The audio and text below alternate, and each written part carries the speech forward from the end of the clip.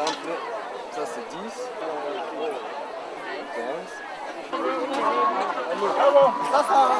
Eriwati chomwana okombeho nomwavuli okomwisi kundi twabiriteseka bakatwekako ebindu byetu nibwo mamuwania kutsibu erishatuwaticha omubene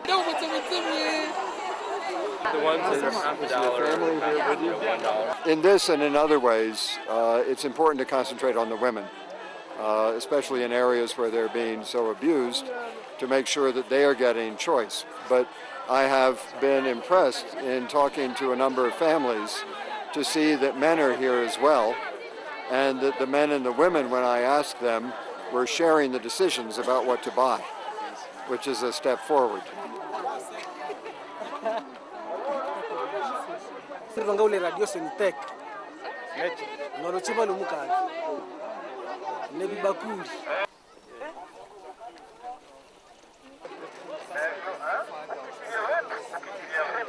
Equity means that you are reaching the most vulnerable people and then reintegrating them into their societies. And this is a much better way, it seems to me, of that kind of reintegration and treating them more as normal people and having themselves think of themselves as normal people who can go to the market rather than as victims who are relying on the handouts from the international community.